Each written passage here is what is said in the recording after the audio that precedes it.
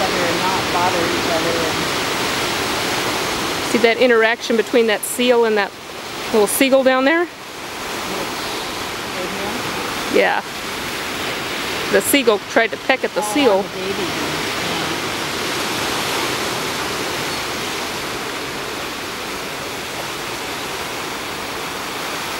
Those big seagulls are just really aggressive. Watch the ones that cross the loop across from